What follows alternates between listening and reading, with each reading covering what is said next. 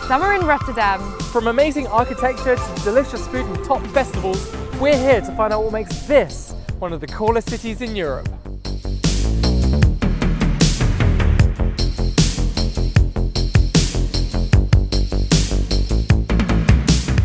When it comes to modern architecture, Rotterdam really is paving the way, and buildings don't come more intriguing than these. The yellow cube houses.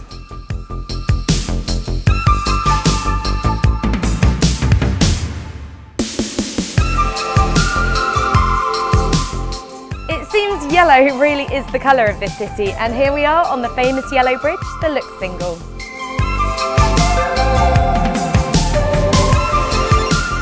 One of the things Rotterdam has become so famous for is its alternative take on architecture. From the yellow cube houses to the yellow bridge, the best way to see it is from the ground up.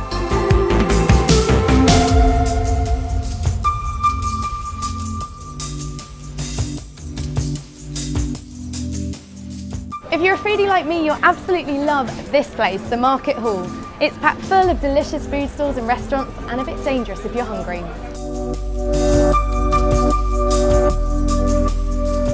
From Dutch cheese to Moroccan spices, the Market Hall is a delicious place to spend an afternoon.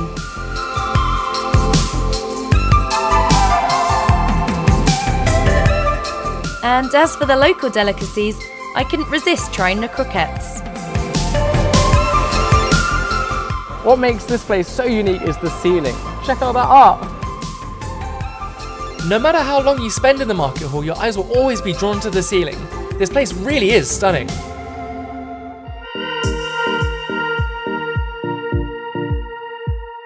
Every summer, the streets of Rotterdam come alive for Rotterdam Unlimited Festival. One of the highlights of Rotterdam Unlimited has to be the Summer Carnival Street Parade. You've got crazy costumes everywhere, you've got music blasting out. It's just a massive party.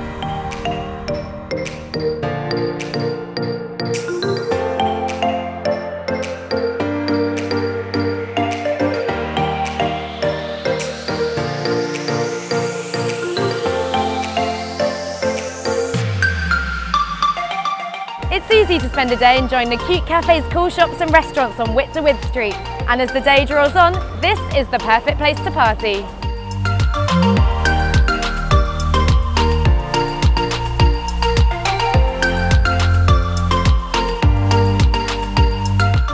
Exploring Rotterdam is like going on a colourful adventure.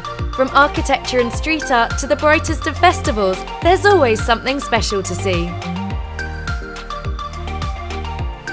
With a vibrant bars and loads of things to do outdoors, there really is no better time to visit Rotterdam than in the summer.